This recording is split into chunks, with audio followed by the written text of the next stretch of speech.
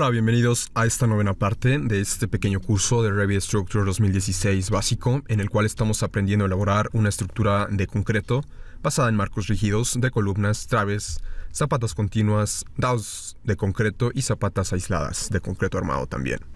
En este video lo que vamos a aprender a elaborar y a colocar serán eh, los refuerzos secundarios que van a eh, servir de soporte para los eh, entrepisos, bueno, los entrepisos y la cubierta de este edificio y concreto, de esta estructura, mejor dicho, a través de lo que es la incorporación de una familia en un sistema de traves asignadas en el programa. Para hacer eso vamos a ir al nivel, eh, primer nivel, le vamos a dar doble clic porque aquí vamos a comenzar a elaborar este sistema. Eh, lo que tenemos que hacer como primera instancia es cargar lo que es este, el sistema que vamos a incorporar a lo que es la estructura secundaria. Para eso vamos a ir al botón de Insert, Insertar, Cargar familia, le vamos a dar clic. Y como estamos utilizando, eh, o vamos a utilizar mejor dicho, una familia estructural referida a través de concreto, vamos a ir a este apartado que dice Structural Framing, le vamos a dar doble clic. En la librería eh, métrica, recuerden, estamos trabajando con unidades métricas, porque también existe la librería imperial que trabaja con el sistema de medición de los Estados Unidos de América. Vamos a darle clic a Framing, Structural Framing, y vamos a seleccionar Concrete porque estamos utilizando una estructura de concreto. Le vamos a dar doble clic y vamos a seleccionar eh, Paint Joints, ¿sí? Vigueta eh, Pan, ¿sí? Básicamente esta vigueta lo que nos va a ayudar es a, eh, bueno, nos va a servir como elemento secundario. Una vez que le hemos seleccionado, le podemos dar doble clic o únicamente Open. Automáticamente lo que va a hacer Revit es cargar este archivo y lo que nosotros tenemos que hacer ahora, una vez que lo hemos cargado, es crear el sistema. Para eso nos vamos a ir al apartado de estructura, eh, BIM System, ¿sí? Eh, sistema de traves, le vamos a dar clic. Y eh, como pueden darse cuenta, nosotros ya tenemos asignado lo que es Structural Framing System a través de este sistema que, que, bueno, que consiste en lo que es Join, ¿no? que es la vigueta que ya se encuentra cargada en este, en este archivo. Lo que vamos a hacer es en BIM Type, ¿sí? le vamos a dar clic y vamos a seleccionar, por ejemplo, un elemento de 150 por 400 milímetros respectivamente. Le vamos a dar clic. La justificación va a ser al centro. Y el layout row significa, bueno, la regla de plantilla, por decirlo de alguna manera. Eh, vamos a cambiarlo de distancia igual a máximo espacio. Le vamos a dar clic a máximo espacio y vamos a seleccionar una distancia igual de todos los elementos de 1.50 metros. Una vez que hemos asignado 1.50 metros, vamos a presionar Enter y automáticamente, como pueden darse cuenta, el sistema cambia, tanto en lo que es, eh, bueno, las partes de las opciones de la herramienta, como en la barra de sus propiedades. Como pueden darse cuenta, aquí en BIM Type tenemos eh, la familia que hemos cargado con anterioridad. Eh, lo que vamos a hacer también es darle clic a Take on Placement para que nos muestre el nombre del elemento en el lugar. Para eso vamos a darle clic a esta opción y como pueden darse cuenta, nosotros el nombre lo tenemos en inglés.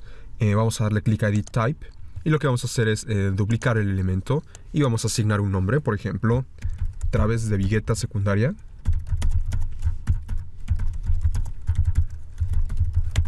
Le vamos a dar clic a OK y OK. Automáticamente el nombre cambia. Y lo que vamos a hacer ahora en Text Style, le vamos a dar clic a System y vamos a seleccionar Framing. Sí, referido a lo que es eh, una estructura o marcos de concreto. Le vamos a dar clic a Framing y lo que vamos a hacer ahora es posicionarnos sobre lo que es eh, cada, uno de los, bueno, cada uno de los espacios que conforman las intersecciones de estos ejes. Y como podrán darse cuenta, si yo selecciono en el primer nivel, ¿sí? recuerden que estamos trabajando en el primer nivel, si selecciono el eje horizontal, como pueden darse cuenta, eh, el sentido de las viguetas va a ser en sentido horizontal. Por el contrario, si selecciono el sentido vertical, pues va a ser en vertical. En, esta ocasión, nuestro sentido eh, que vamos a, ocupar para que el edificio sea estable va a ser en el sentido vertical. Entonces vamos a hacer clic sobre este eje y automáticamente se crean las viguetas con su respectiva medida y sus respectivos nombres. Lo que vamos a hacer también es seleccionar este eje y vamos a continuar seleccionando, seleccionando los ejes verticales de todo nuestro sistema eh, de estructura de marcos rígidos de concreto hasta haber completado eh, los espacios correspondientes de la estructura secundaria. Una vez que hemos finalizado vamos a dar clic en Modify para terminar de emplazar cada uno de los elementos. Lo que vamos a hacer ahora es irnos a la vista en tercera dimensión para apreciar lo que hemos eh, bueno, creado o incorporado lo que es eh, la estructura de concreto. Como pueden darse cuenta, nosotros tenemos lo que es la estructura primaria, que consiste en una trave de 60 por 45 centímetros, y por otra parte tenemos las viguetas que corresponden a una familia que hemos incorporado a partir de una plantilla que ya viene definida y cargada en las librerías de Revit. Lo que vamos a hacer ahora es copiar todos estos elementos o este sistema de vigas en lo que son el nivel de cubierta y el nivel, el segundo nivel. Para eso lo que vamos a hacer es ir nuevamente a primer nivel. Vamos a hacer clic y vamos a seleccionar todos los elementos. Como pueden darse cuenta nos está seleccionando tanto las columnas como las traves primarias. Para seleccionar únicamente los sistemas de traves secundarias o de viguetas, lo que vamos a tener que hacer es ir y dar clic en filtro. En filtro vamos a dar clic en check none, ¿sí? seleccionar ninguno, y vamos a activar únicamente structural framing por vigueta, que nos dice que son 48, y eh, structural framing girder. Le vamos a dar clic y le vamos a dar clic a OK para que únicamente seleccione esos elementos. Una vez que hemos seleccionado estos elementos, nuevamente podemos dar clic a filtro, nuevamente check none, cancel y automáticamente no vamos a tener seleccionado nada. Entonces vamos a seleccionar nuevamente los elementos, filtro. Una vez que tenemos esta ventana, vamos nuevamente a darle clic a seleccionar ninguno y vamos a seleccionar nuevamente Structural Framing eh, por vigueta y eh, Structural Beam System. Le vamos a dar clic para seleccionar los sistemas de traves secundarias. Le vamos a dar clic en OK para únicamente seleccionar estos elementos y sus respectivas descripciones y características. El siguiente paso que vamos a realizar es ir al apartado de Modify y copiarlos al portapapeles con este botón. ¿sí? Le vamos a dar clic a Copy to Clipboard. Automáticamente se hace una copia. Vamos a ir a la ventana en tercera dimensión o a la vista en tercera dimensión para poder emplazar esos elementos en un modelo geométrico en tercera dimensión con sus respectivas propiedades físicas estáticas. Para hacer eso vamos a ir al botón de modificar o a la venta, al panel de modificar y en este panel de clipboard vamos a seleccionar paste, le vamos a dar clic a la flecha de paste y vamos a dar clic a alinear a los niveles seleccionados, le vamos a dar clic y vamos a seleccionar el segundo y el nivel de cubierta.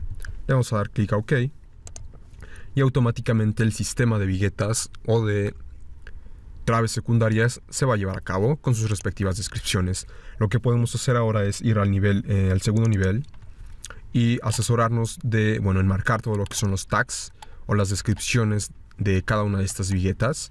Para eso vamos a ir al apartado de Annotate, Tag All y vamos a seleccionar Structural Framing Tags, Structural Framing Tag Standard. Le vamos a dar clic a OK y automáticamente se muestra las características y la descripción con las respectivas medidas de cada uno de los objetos que pertenecen a las traves secundarias de este sistema de estructura de concreto. Nuevamente vamos a ir a nivel de cubierta, en la pestaña de anotación, el panel de tag y vamos a darle clic a Tag All y vamos a seleccionar Structural Framing Tags. Le vamos a dar clic y OK y automáticamente obtenemos la descripción como anteriormente lo hemos denominado. Vamos a regresar nuevamente a la vista en tercera dimensión, vamos a ir a la pestaña de View y vamos a cerrar todas las ventanas que se encuentran ocultas en el fondo del programa para no consumir tantos recursos de la computadora. Vamos a regresar nuevamente a la pestaña de estructura, vamos a ir al botón de archivo de Revit, guardar como, proyecto y vamos a asignar un nombre, por ejemplo 09 traves secundarias de concreto y le vamos a dar clic a guardar. Con esto hemos terminado la novena parte de este curso básico de Revit Structure 2016 en el cual estamos elaborando una estructura estática a partir de marcos rígidos de concreto armado.